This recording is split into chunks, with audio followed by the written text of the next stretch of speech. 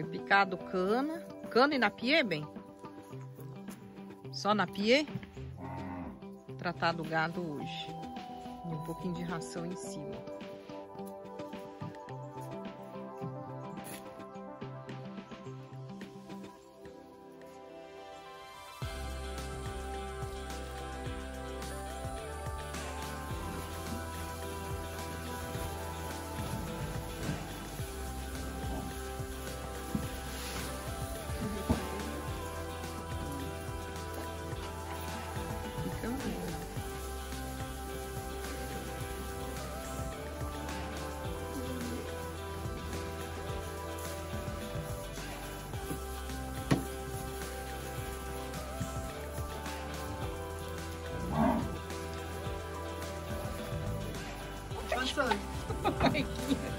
Não pode entrar aqui não, Marrequinha.